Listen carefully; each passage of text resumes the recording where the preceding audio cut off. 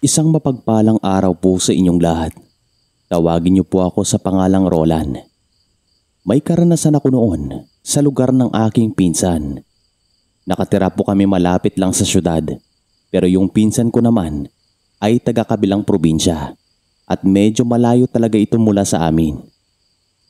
Pumunta ito sa bahay namin Sir Chris at ibinalita sa amin na yung tatay niya, kapatid ni nanay, ay ilang araw nang nanghihina. Tawagin natin sa pangalang Ramon, itong pinsan ko. Mayroong isang kapatid si Ramon at medyo bata pa ito nung time na yon. Yung nanay naman niya ay pumanaw noong siya ay sampung taong gulang pa lamang. Nagsabi si Ramon na kung pwede ang isa sa amin ay doon na muna manatili sa bahay nila para mayroong alalay yung kanyang kapatid at ama. At nang dahil ako lang din naman ang walang trabaho noon, nagpresenta ako. Mayroon din po kasing trabaho si Ramon at yun nga ang nangyari Sir Chris. Sa araw na iyon, sumama ako sa probinsya nila.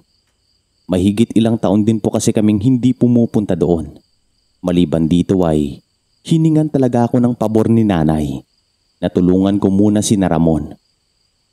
Nakarating kami doon ng alas 6 ng gabi Nanibago ako sa sitwasyon nila. Hindi na masyadong naayos yung bahay. Nabubulok na rin ang ilang bahagi ng bahay. May ilang bahagi din sa bubong na wala ng pawid. At kapag uulan, pumapasok daw talaga ang tubig sa loob ng bahay. Naawa ko noon sa kalagayan, lalo pa at si Ramon ang inaasahan ng kanyang ama at kapatid. Sabi ko sa kanya sa araw na iyon Bukas na bukas, aayusin ko ang ilang bahagi ng bahay kasi meron din naman akong kaalaman sa pag-ayos at paggawa ng bahay. Sumasama din po kasi ako kay tatay sa pagkakarpentero. Habang pinagmamasdan ko si Tiyuhin, parang naiiyak ako. Dapat sana pinuntahan namin ito at kinamusta nung hindi pa siya nanghihina. Wala naman kaming magagawa kasi mahirap din kami noon. Abala din si nanay at tatay sa kanika nilang trabaho pero hindi kami nagkulang sa pagtulong sa kanila sa pamamagitan ng pera at gamot. Pero ang masasabi ko lang, iba talaga kung nandoon ang iyong presensya. Maya-maya lang, nagising si Tiwin. Nung nakita niya ako, ay napahagulgul ito sa pag-iyak at pilit niya akong niyakap. Umupo ako sa tabi niya at niyakap niya ako noon Sir Chris at sabi ko, Tiyo, kamusta? Pagaling ka ha, nandito na ako. Ako nang mag-aalaga sa iyo simula sa araw na ito. Hindi nagtagal, kinamusta niya si nanay at ang ilang kapatid ko at sabi ko ayos lang din naman sila. Nagkwento pa si Tiyuhin na noong bata daw ako, siya yung nag-aalaga sa akin siya yung nagpapakain sa tuwing wala sa bahay si nanay. Minsan daw, dinadala niya rin ako sa bahay nila at nananatili ako doon ng ilang linggo. Tiyo, magpahinga ka na at ipagluluto kita ng paborito mo. Sabi ko sa kanya. Agad kong hinanda ang mga lulutuin habang sira mo naman ay abala sa pagkuha ng mga panggatong. Yung kapatid naman niya ay naglalaro sa labas ng bahay. Bandang alas 7 ng gabi, habang nagluluto kami sa likod ng bahay, nakakita ako ng puting paru-paro. Malaki ito at dumaan sa harapan namin. Ang laki nito ah. Sabi ko pa noon. Ngayon nga lang ako nakakita ng ganito sa buong buhay ko. Sagot naman ni Ramon. Hindi nagtagal ay natapos na yung pagluluto namin. Agad kong pinuntahan si Tiyuin sa kanyang kwarto habang bitbit ang ulam na mayroong sabaw at kanin. At sabi ko, Tiyo, Tiyo, kakain na tayo habang mainit pa ang sabaw. Naisipan kong ako yung magpapakain kay Tiyuin kasi ganun din naman ang gagawin ko sa mga susunod na araw. Inilapag ko ang ulam at kanin sa mesa at dahan-dahan ko itong ginising. Inilapit ko din ang gasera sa kanya para makakita kaagad ng ilaw. Tiyo, gumising ka na at kakain na tayo. Sabi ko pa. Hindi nagtagal. Huminga ng napakalalim si Tiwin at iyon na pala ang huling pagkakataon na makita ko siyang huminga. Tahimik ang paligid at tanging iyak lang namin ang madidinig nyo sa gabing iyon. Nakakalungkot na sa gabing iyon. Pumanaw si Tiyuhin at nang dahil medyo malayo ang bayan mula sa lugar nila, naisipan na lang namin na ipagpabukas na lang ang pagtawag sa kukuha sa katawan ni Tiyuhin. Nakatira po kasi si Naramon sa bundok at medyo malayo po talaga ang bayan. Wala ka din namang masasakyan sa mga oras na iyon. Maliban na lang kung meron kayong motorsiklo o tricycle. Tapos yung bawat agwat ng pamamahay doon ay malayo sa isa't isa. Yung mga tiyahin naman ni Ramon sa side ng nanay niya ay nakatira pa sa ilalim ng bundok at mahigit isang kilometro pa ang lalakarin. Hanggang sa nagsabi si Ramon na pupuntahan niya ang kanyang mga tiyahin doon Isasama daw niyang kapatid niyang lalaki. Sobrang dilim noon ang lugar Sir Chris. Pero ang sabi ni Ramon, bahala na daw. Ang importante, malaman daw ng kanyang mga tiyahin. Umalis sila Ramon habang ako naman ay nasa tabi lang ni Tiyuhin. Medyo nanibago ako na yung katabi ko ay isang taong wala ng buhay. Pero kahit papaano ay tiyuhin ko pa rin iyon.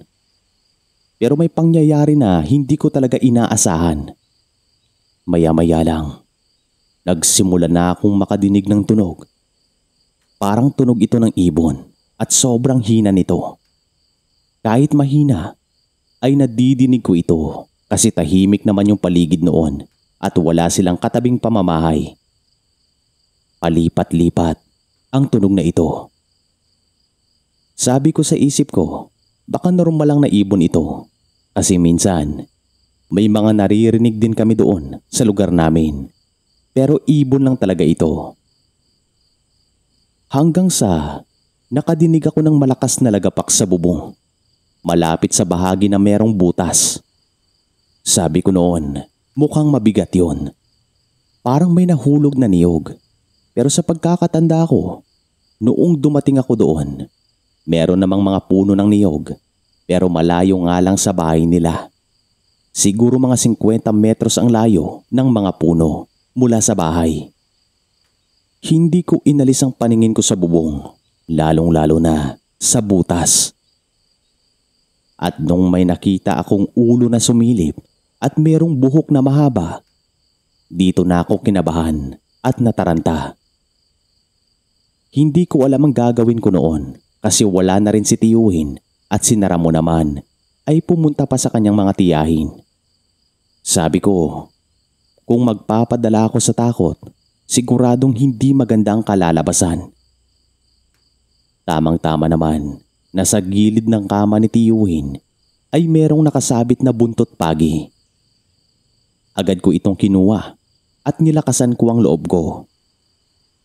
Nung lumingon ako sa butas, ay wala na doon ang sumilip. Pinaghahampas ko noon ang pawid at sa bawat hampas ko ay mayroon akong nadidinig na yapak sa bubong. Nakakakilabot at sa totoo lang, takot na takot na ako noon pero nilakasan ko lang talaga ang loob ko. Nung nawala ang mga yapak sa bubong, agad kong sinara ang mga bintana at pinto ng kwarto. Alam ko kasing aswang yon at hindi na normal na tao ang umaaligid sa sandaling iyon. Yung sabi kasi ng nanay ko, kapag merong namatay, meron po talagang magpaparamdam. Hindi ko lang alam kung bakit ganito yung paniniwala nila. Hanggang sa merong kumatok sa pinto ng bahay. Kaibigan, ako to. Buksan mo ko. Sabi ng nasa tapat ng pinto na nasa boses ni Ramon. At sabi ko sa isip ko, hindi gagawin ni Ramon yon. At unang-una, pinsan niya ako at ang tawag niya sa akin ay Toto. Sabi ko hindi si Ramon yon kaya hindi ko binuksan. Kumatok pa ulit ito ng tatlong beses pero hindi na nagsalita at hindi na rin ako sumagot. Makalipas ang mahigit tatlongpung minuto, nakarinig ako ng mga taong nag-uusap sa di kalayuan. Alam kong si Ramon iyon. Agad akong lumabas sa kwarto at binuksan ko ang pinto. Sila nga iyon. At dito ko na sinabi sa kanila ang karanasan ko noong gabing iyon at sabi ng tiyahin niya, huwag daw naming iwan si tiyuhin at dapat merong gising sa amin sa gabing iyon. Baka daw kasi palitan yung katawan ni tiyuhin ng aswang. May paniniwala din kasi si Ramon pagdating sa mga aswang. Kaya daw meron silang buntot pagi sa bahay. Yun nga Sir Chris, hindi kami natulog ni Ramon sa gabing iyon. Pati na yung isang tiyahin niya na noon ay nagpaiwan sa bahay. Kinaumagahan, agad namang kinuha ang katawan ni Tiyuhin at pagkalipas ng ilang araw, inilibing ito. Nanatili pa ako doon ng mahigit isang buwan at inayos namin ang bahay.